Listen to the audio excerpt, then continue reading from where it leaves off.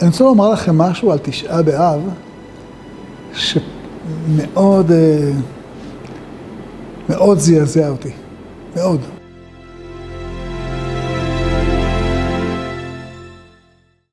דבר אחד, ממש מבהיל, כותב אותו יוסף אל מתתיהו. יוסף אל מתתיהו היה מפקד המרד כאן בגליל, היה בגוש חלב, והוא בשלב מסוים מחליט אה, לעבור צד, לצד הרומאים. הוא מלווה את טיטוס, הוא מנסה להציע לתושבי ירושלים להיכנע. אה, יש דעות חלוקות עליו, אם הוא בוגד או, או בסדר.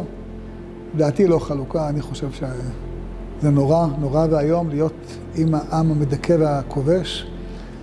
אה, אבל יש שם עדויות, אתה רואה שהוא אה, נוטה לא מעט פעמים לצד הרומאים, אבל יש שם עדות אחת שאני פשוט אה, לא מצליח להשתחרר ממנה, אולי לא רוצה להשתחרר ממנה. אני רוצה לשתף אתכם בעדות הזאת. הוא מתאר איך הם נכנס עם טיטוס אה, אחרי שהם פורצים את שערי ירושלים, ונכנסים בירושלים וברגע הזה של הכניסה, כשהם עומדים בשער, טיטוס ויוסף בן מתתיהו, אומר טיטוס ליוסף, תסתכל על החומות האלה. איזה חומות אדירות. לא היו חומות כאלה בשום מקום שכבשנו. אתם מכירים את החומות האלה. אתם מסתכלים על אבני הכותל המערבי, אלה הישנות, הענקיות, עשרות מטרים.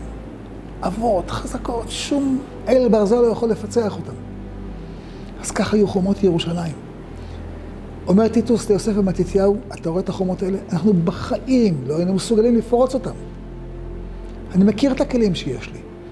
אם לא שהם היו נלחמים אחד בשני, ושורפים את התבואות אחד לשני, והורגים אחד את השני, לא היינו מצליחים. אלוקים עשה לנו את העבודה. אני קראתי את זה, עמדתי משתומם ונבהל. אנחנו מכירים את התיאור הזה. כולנו מכירים את התיאור של טיטוס שהוא בא לשער הניצחון ברומא, ויוצאת בת קול מן השמיים ואומרת לו, תירגע, בית שרוף שרפת, קמח טחון טחנת. זה לא אתה, זה הם. אז נכון, טיטוס את העונש שלו קיבל. אבל אנחנו בתשעה באב לא מתעסקים עם טיטוס, מתעסקים עם עצמנו. אנחנו החרבנו את הבית. אנחנו החרבנו את הבית, אנחנו זה במחלוקות שבינינו. שנאת חינם החריבה את הבית. אילולא שהיינו נלחמים בינינו, טיטוס לא היה עושה כלום. ולהבין את עוצמת הזוועה של טיטוס. יש עוד תיאור של יוסף המתתיהו. שהוא מתאר שכשהוא מסגיר את עצמו לידי הרומאים, הוא רואה שאין עץ אחד בגליל שלא צלוב עליו יהודי. לצלוב זה הדבר הכי אכזר שיש עלי אדמות. לא הורגים את הבן אדם, חי. ממסמרים אותו, ממסמרים, בתוך הבשר, בתוך העצם. לעץ, משאירים אותו ככה, כאבי תופת, כמה ימים, הוא יכול לצעוק, אף אחד לא מתייחס אליו, עד שהוא מת בייסורי, ייסורים איומים. אז זו הייתה הדרך החביבה שלהם. וכך הם היו עושים, לא היה עץ בירוש... באזור ירושלים, בלי יהודי צלוב אליו. זה הרשעה שלהם, זה הטיפשות שלנו. אם אנחנו מתאבלים בתשעה באב, על זה מתאבלים. זה מה שהחריב את בית המקדש. מה זה בית המקדש? תבינו. טיטוס, מי היה טיטוס? עובד אלילים. מי היו החיילים שלו? בורים ונבערים. לא יודעים קרוא וכתוב, לא יודעים כלום.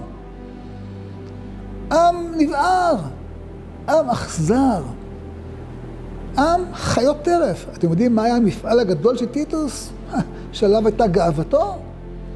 הקולסיאום ברומא. זה מבצע של טיטוס ואספסיאנוס, האבא והבן. האבא אספסיאנוס, הבן טיטוס. מה זה, מה זה הקולוסיאום ברומא? זה איצטדיון ענק, שאנשים יושבים שם ורואים איך בעלי חיים טורפים ילדים, טורפים נשים, טורפים גברים. זהו, אפ. על זה גאוותו. החריב את בית המקדש, שני אלה החבר'ה האלה, ובנו תחליף. תחליף הבית ספר לאכזריות. הם, הם קיבלו את הניהול של העולם במקומנו, כי אנחנו התנהגנו בטיפשות. על זה היה דווה ליבנו.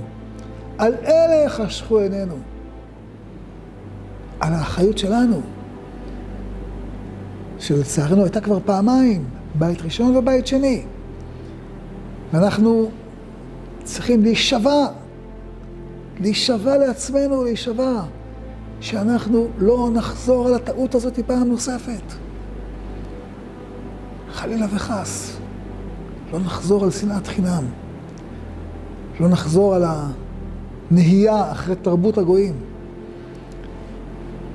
ייבנה בית המקדש במהרה בימינו אמן. Wisdom, some brief and life-changing moments. Join us. Subscribe to Moment of Wisdom channels on YouTube, Telegram, Facebook, Instagram, and WhatsApp.